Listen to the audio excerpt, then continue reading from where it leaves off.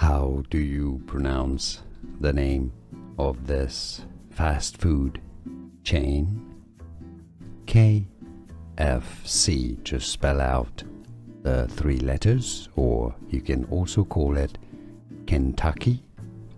Kentucky, the state in the United States, fried chicken.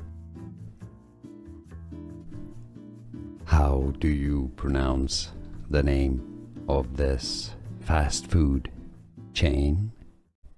KFC, just spell out the three letters, or you can also call it Kentucky.